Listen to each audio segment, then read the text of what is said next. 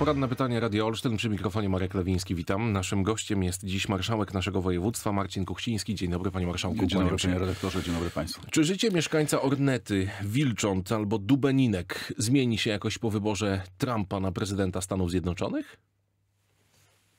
Długa cisza zapadła.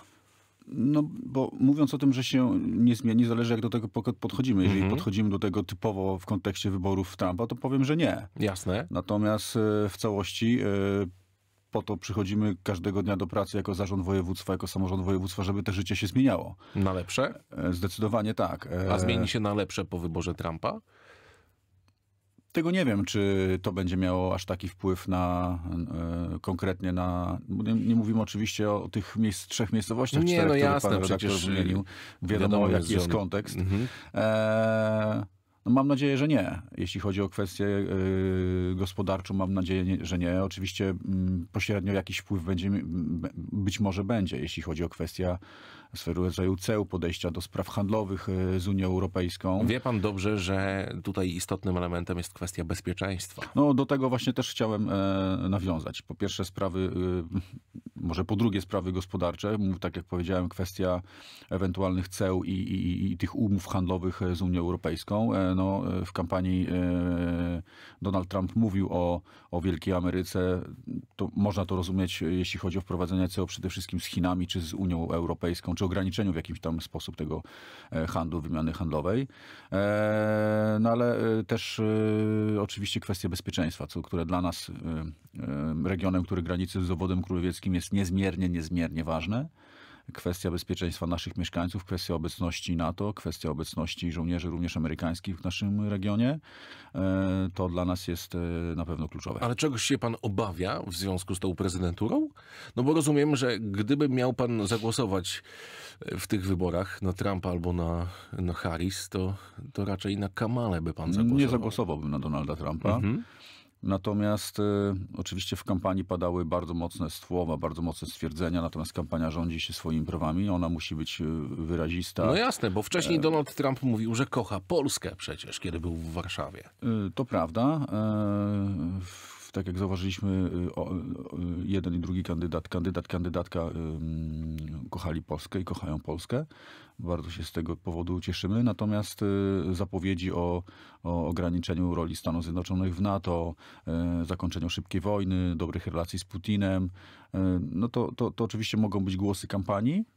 E, Mamy przekonanie, mam, mam nadzieję, że, że, że to były tylko głosy kampanii, a do takich spraw, jaki jest kwestia bezpieczeństwa, podejdziemy wszyscy e, e, z dużym rozsądkiem. No i tu mamy konkretną opinię marszałka Marcina Kuchcińskiego właśnie w tejże sprawie. Czy Rządowy Fundusz Wsparcia Samorządów Przygranicznych będzie istotnym uzupełnieniem funduszy europejskich w naszym regionie? Każda pomoc y, jest istotnym e, wsparciem. Ten program powstał bardzo szybko, 500 milionów złotych na cały e, Czyli to subregion. prawda? To prawda, 120 milionów ma trafić do naszego województwa, ale jeżeli potraktujemy to jako swego rodzaju uzupełnienie tych projektów, które my mamy jako Fundusze Europejskie dla Warmii i Mazur, mamy um, podpisane umowę partnerską e, ze z samorządami e, pogranicza, które mają swoje, to jest nasz strategiczny, jeden ze strategicznych e, em, projektów E, i, i w tych projektach realizujemy pewne zadania. E, W tych projektach, które są z rządowego, z rządowego programu, e, one na pewno się uzupełniają, bo dotyczą, dotyczą chociażby inwestycji drogowych na, na poziomie gmin Czyli ja rozumiem to powiatów. tak, panie marszałku. Yy, samorządy zyskają dodatkowe miejsce, do którego mogą złożyć wniosek. I nawet jeżeli ten wniosek nie przejdzie, no to zawsze może to być próba strzału, choćby na ślepo. Nie, ja myślę, że to nie jest kwestia e, strzału na ślepo, bo każdy samorząd, e, szczególnie tam e, No, z przekąsem trochę to no, powiedziałem dokładnie oczywiście. wie, dokładnie wie, jakie ma potrzeby. E, Chociażby w kontekście dróg, my e, realizujemy e, drogi e, wojewódzkie głównie. Część naszego e, programu e, regionalnego idzie, idzie na drogi, e, na drogi e, również powiatowe, ale między innymi Wełku, dlatego że Zitełku tak sobie e, wymyślił i zażyczył. Natomiast e, drogi gminne i powiatowe, e, od tego to jest dodatkowe źródło e, pieniędzy, właśnie ten, ten rządowy, rządowy fundusz dla gmin e, pogranicza. A skoro rozmawiamy o pieniądzach, to zapytam, na jaki jakim etapie jesteśmy z rozdzielaniem funduszy z Unii Europejskiej? No bo zbliża się yy, koniec pierwszego roku, kiedy na dobre ruszyła nowa perspektywa finansowa. Jak pan to ocenia? Jest dobrze, źle, neutralnie, średnio. Nie, jest dobrze, bo ten progres Co to jest... znaczy? Mamy 20% alokacji wykorzystanej. Alokacja to jest prawie miliard, miliard, miliard 800 Mhm. milionów euro. To jest około półtora miliarda złotych w tej chwili. Mamy tych umów y, y, podpisanych.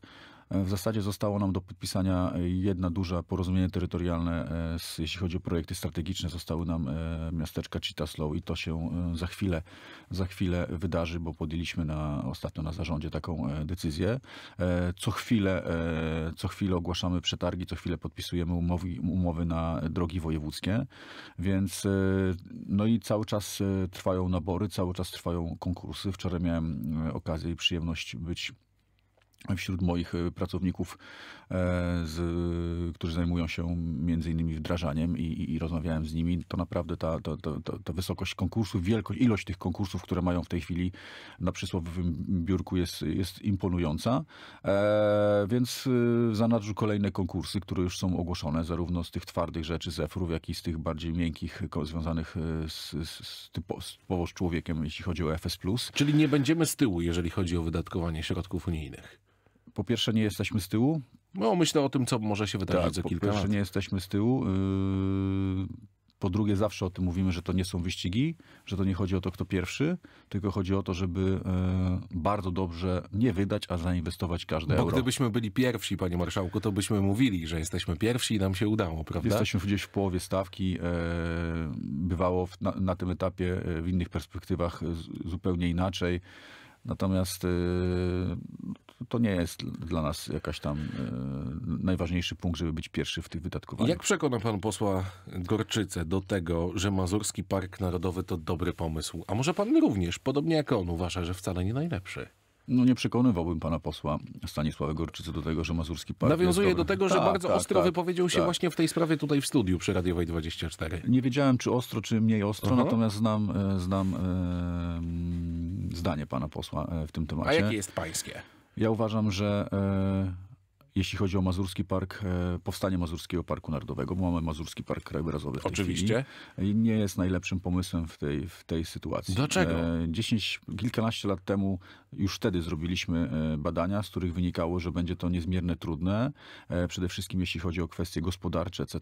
No ale panie Nasz- marszałku, ochrona przyrody, ochrona takiego cudownego miejsca, jakim są Mazury.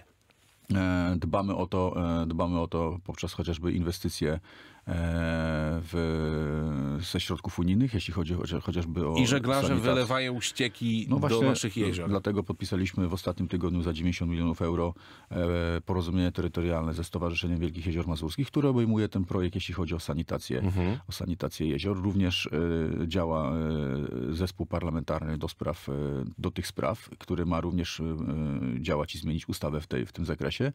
Natomiast e, myślę, nasz, nasze województwo ma ogromne, e, ogromne połacie terenów związane e, z jeziorami, z lasami. E, W jaki sposób gospodarczo e, nie możemy, nie- zyskujemy tyle, ile inne regiony. No ale, to może nam- byśmy mogli przekuć Mazurski Park Narodowy. No ja wiem, że na y, tych Okej, ale- Mhm. znaczkach do klapy marynarki byśmy za dużo nie zarobili, ale może na turystach, którzy przyjadą w większej liczbie już tak. Ale mamy, inną, mamy inny e, kierunek, e, bo mm, nasz region również e, Na zdrowie słynie z stawiać, tego, tak? słynie z tego, że jesteśmy blisko natury i ta natura jest obok nas. E, I na przykład, jeżeli możemy rozmawiać o innym parku, czy obe- obecnym parku Puszczy Romnickiej, okolice e, Gołdapi, e, to są tereny, które, e, to są tereny, na które wydaje mi się powinniśmy, powinniśmy e, spojrzeć w kontekście Parku Narodowego. Oczywiście to wymaga wielu rozmów, wielu, wielu e, dyskusji, negocjacji, no bo samorządy z tamtej strony na pewno nie będą, e, nie będą e, za szczęśliwe z tego powodu, bo myślą od razu, widzą, że to jest ograniczenie. Natomiast rząd przygotowuje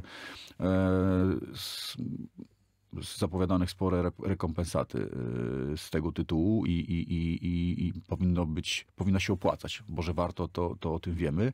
I myślę, że są to doskonałe tereny do tego, żebyśmy mogli się pochylić akurat w tym miejscu nad tym Parkiem Narodowym. Czyli w E, ale- referendum za Mazurskim Parkiem Narodowym marszałek Kuchciński by nie zagłosował. Nie, nie zagłosowałbym. No i tu stawiamy kropkę w takim razie. Panie marszałku, umówmy się proszę, że przy okazji naszego następnego spotkania porozmawiamy jeszcze o kondycji finansowej i nie tylko finansowej, lotniska w Szymanach, dobrze? Z przyjemnością. E, To w takim razie jesteśmy umówieni, a teraz y, żegnam się i dziękuję naszemu gościowi, którym był marszałek województwa Marcin Kuchciński. Dziękuję za to spotkanie. Dziękuję, panie rektorze. Dobrego dnia. Kłaniamy się tymczasem.